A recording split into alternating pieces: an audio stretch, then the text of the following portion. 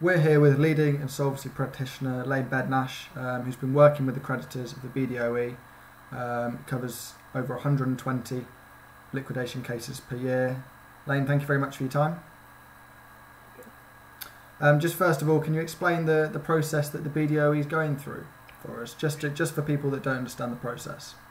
Yeah, the process they opted for um, is the most common form of liquidation. It's called a, a, voluntary liquidation, and it involves the directors of the company um, basically conceding that the company is insolvent and looking to the shareholders of the company to pass the resolution that they believe should be passed to place the company into a insolvent voluntary liquidation. That's the process. And I was approached by uh, two creditors um, who had a vested interest in the outcome of that liquidation, uh, who together represented more than 50% of the reported creditors uh, that the directors had reported in their report to the creditors shortly before the meeting. We know a few days ago there was a creditors meeting. Um, would you be able to first of all explain what that is for people, uh, and then what happened during that meeting, if that's okay?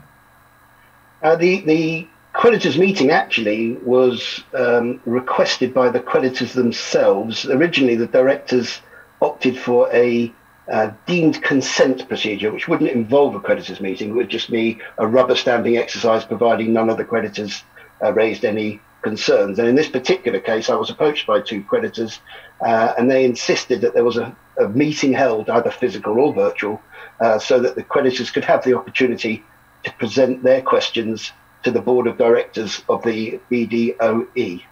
Um, that was the purpose of that creditors meeting, and in fact, a number of creditors attended, not just the two I was representing. There was there was other creditors there, but unfortunately, there was a no-show by the directors of the company who convened that meeting. So effectively, we were attending a meeting that they had convened and they hadn't turned up for that meeting. So we never got the opportunity to ask any questions of the directors.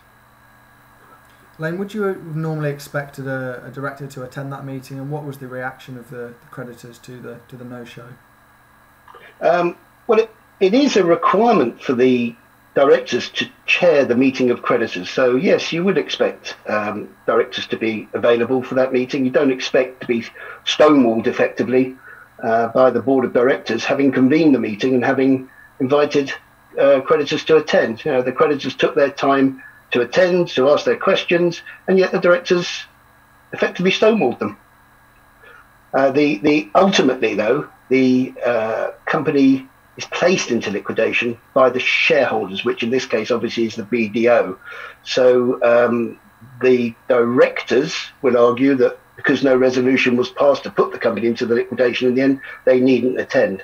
But that's not the case as far as our creditors is concerned. They wanted the director to be present. They expected the BDO to do the honourable thing. Having started the insolvency process, they expected the BDO to pass that resolution. And I think they were quite surprised. We know you've worked on over 120 cases per year, but is this something that you've seen before, Lane? Uh, honestly, it's extremely rare. Extremely rare. The, uh, the, the, the most most liquidations start with the directors um, con- confiding in the share- with the shareholders, and together they agree to, to proceed down this voluntary liquidation route. And in this particular case, from what I understand, the, this process started back in, in March, April, sometime like that was the first time they they embarked on this route. And to get to this stage, to sit in front of a room of creditors, knowing that the resolution hasn't been passed, is extremely rare. And in the in the other cases where it has happened, and I can only think of probably on one hand how many times it's happened in my 25, 30 years, um, proper, genuine explanations are provided um, out of courtesy to the creditors that took the time to attend. Um, and in this particular instance, the creditors left that meeting not having any understanding why the BDO had taken this stance. And it doesn't appear to be in line with what the directors the BDOE wanted.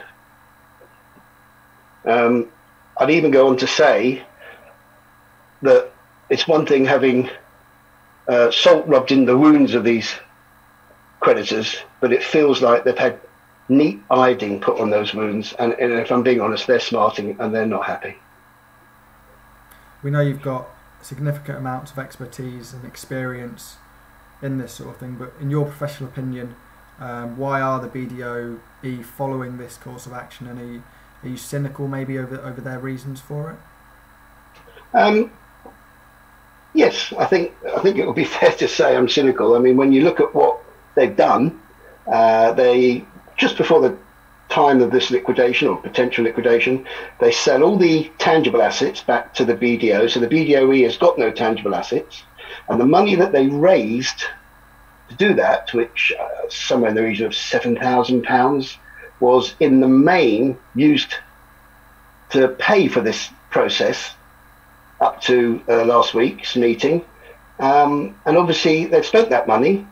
No resolutions have been passed, and they've got absolutely nothing to show uh, for, for, for what they've done. I mean, it's just crazy. They've left themselves now without an insolvency practitioner appointed, with £1,300 left in the bank account, no assets because they've all been all been sold, and no prospects of a recovery, why didn't they pass the resolution? The obvious thing would have been to pass the resolution, unless, unless, and uh, I'm guessing, maybe there's something that they're concerned about. Maybe there is something that, that, that they're hiding and they don't want the company to go into liquidation for, because I cannot see a reason why they didn't pass that resolution when they should have done.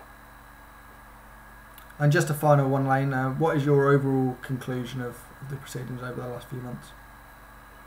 So my overall conclusion, it probably matches that of the insolvency practitioner who they nominated um, and who ultimately wasn't appointed. He himself described the position and the state of this liquidation as shambolic.